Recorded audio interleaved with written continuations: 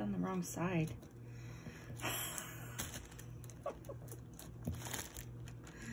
Whoops.